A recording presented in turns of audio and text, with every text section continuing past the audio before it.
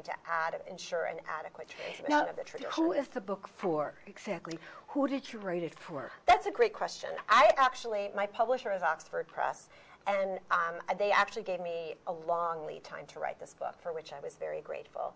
Um, and in the process of writing the book, I actually um, obtained a master's degree in Jewish studies while I was writing the book. So it took me a long time to write. But I wanted a book that would educate Jews and non Jews. I wrote this book for knowledgeable Jewish people who are learned, as well as for Jews who really know virtually nothing about the tradition. And I was really careful to explain all my terminology. Um, and, and so I wanted it to be something that would be available to a wide range of Jews, educated and not, as well as to non Jews who are interested in cultural studies and cultural studies methodology. Yeah, that's what it was interesting. And parts of the book, um, you know, when it talked about, we, you know, you had a section on intermarriage, and then there was the Pew report stating that there's a lot of intermarriage going on, and. Um, and I, and, I was thinking about it, and I, I think the first thing that came to my my mind was why? What has happened? Why are people running away from their religion and marrying people outside of the religion? Is it because we're more of an integrated society? People are meeting different people at colleges, at workplaces. Uh, years ago, the temples and synagogues used to have dances every weekend, and people would meet people of their own faith in these uh, dances. And I, somebody asked me, "Where are the dances?" I said, "There aren't any Well, the dances have been replaced by things like J Swipe and JJ, but J Swipe in particular. Like the younger generation But- has its own ways. But you know, it's interesting. A lot of that. people that aren't Jewish go on J Date to meet Jewish Jewish people, people, right. and so it's not the same anymore. And what what is going on?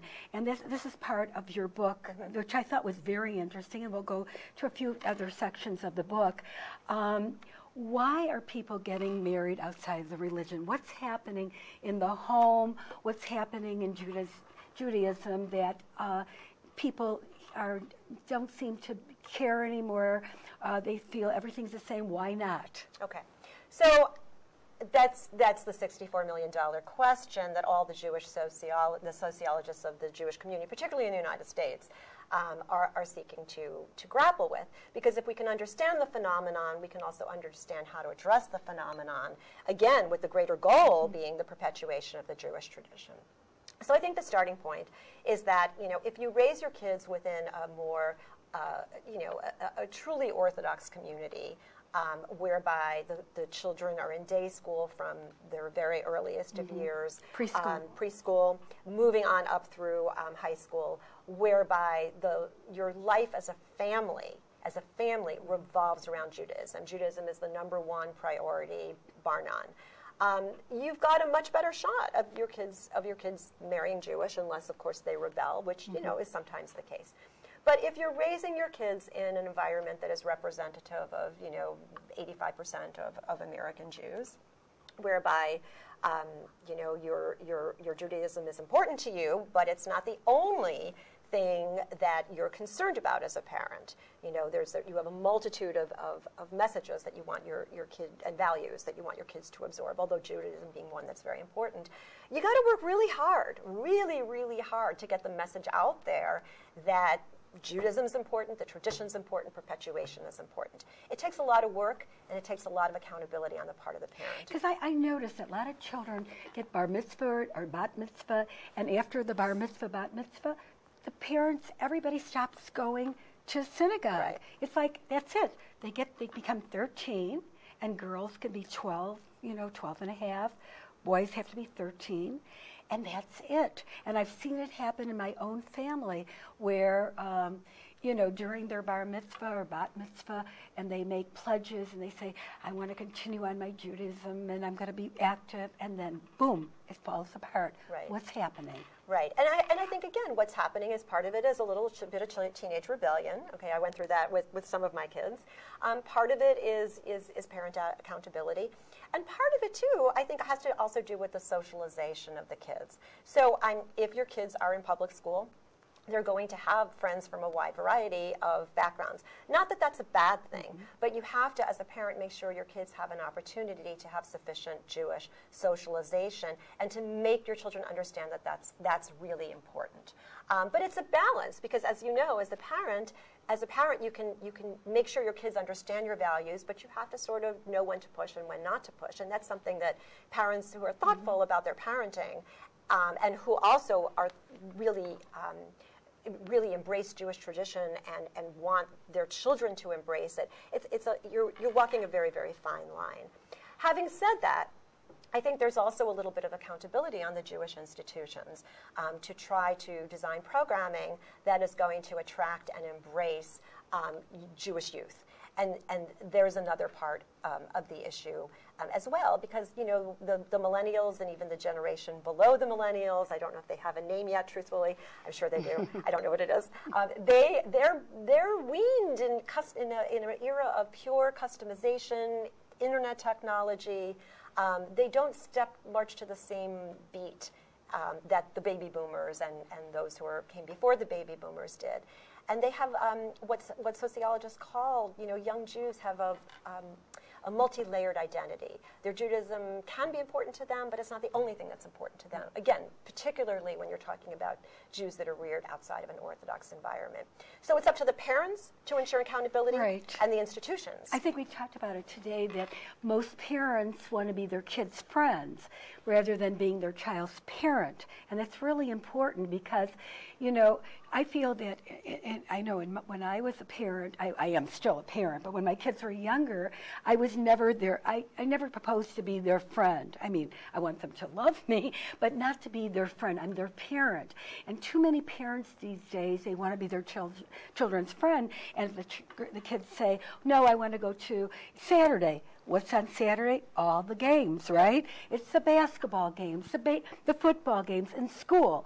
The school, so the kids don't go to synagogue on Saturday. And that, that's the argument that, that Jewish day schools, be they Orthodox, conservative, or even Reform, use for why you send your kids to a Jewish day school because you don't have that, that conflict. But most kids don't go to Jewish day school. That's the reality. Right. And they're not going to. It's expensive, for, for one thing. And so, again, it, it's a delicate balance. The other thing that, that I would like to also emphasize, though, is, you know, not all intermarriage is the same. You know, you can have situations where there is intermarriage, but the couple has been counseled by a rabbi, and it would be most likely a reform rabbi these days, mm-hmm. um, in terms of up, the upbringing of the ten I think children. I think that I think we, I'd like to talk about that mm-hmm. because mm-hmm. it's it's interesting because if you're married to somebody that's not a Jew, and they're Christian, you could still incorporate Judaism in the family so they all can understand it and be together and be part of it. Absolutely. Um, the, the, the reality is okay? Just like all in, all intermarried couples there's a, just like there's a diversity of uh, cultural jews on a spectrum or, mm-hmm. or jews even within each particular denomination mm-hmm. there's also a spectrum of jews that intermarry. And so some jews that intermarry it's just not important at all to the jewish partner and therefore i've heard so many stories i'm sure you have too where it's the non-jewish partner who actually takes more responsibility than the jewish partner. You have that variation. Yes that, that's true. But where there is intermarriage and it is important to the jewish partner, they just happen to fall in love with someone who isn't Jewish, you can, I, I believe that there's, there's many ways that that couple can build a, a sound foundation for a strong Jewish home. Um, those are the easy cases almost to, to look at. The harder cases, and probably the ones that are more prevalent, is where the kids are raised both, um, and people don't understand why that's not possible. I, I think there's some well, good they're raised with Hanukkah, they're raised right. with Christmas. I have a cousin that I, I mentioned earlier that um, they had a mohel, um, a rabbi that came and did the circumcision in the house when he was a baby, and then a couple weeks later he was baptized. Exactly. So exactly. it was it, it, that could be a little confusing. Well, it's confusing, and it also it also if you're, if the if the ultimate goal is transmission of the Jewish tradition, that type of scenario is not likely to end up in so are, so are you saying that you can't incorporate both religions? I, you know, I, am going to say this. I, I, think when you're in a situation where it is an interfaith marriage and you try to bring the kids up as both, um, are the chances going to be strong that the offspring of that marriage is going to necessarily want to marry Jewish, want to bring their kids up Jewish, want to build a Jewish home. I, I, I, think that's a harder challenge. Don't forget, in the United States, Jews are a cultural and a religious minority. And so we're not the majority culture. Um, it's harder. It's harder to be Jewish um, in America, you know, for exactly for that reason. And so the statistics show that while the offspring, and there are statistics to prove this, while the offspring of intermarried couples may tend to identify as Jewish, okay, they identify not religiously as Jewish. All right, and so even more so in a home where it's they've been exposed to both religions, mm-hmm. the chances of them wanting to be engaged identified Jews are, are probably and high. also like in the Reform, if the father is Jewish and the mother isn't Jewish, uh, they say in Reform the child is also Jewish. But in Orthodox, it says that if a mother is, if the father is Jewish and the mother isn't, then the child isn't Jewish, and they or, need, and the child and the mother have to be converted. It's not Orthodox. it's Jewish law. Okay, Jewish okay, law. so we're back is, to law right, now. Jewish law See, says okay. that the mother has to be Jewish for the child to be Jewish, or the children have to be converted um.